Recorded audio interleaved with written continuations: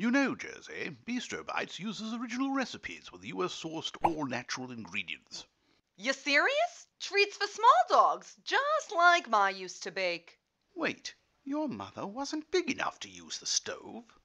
You, uh, really want to go there, Clive? Well, your Ma's so fat she has to go outside to change her mind. Very true.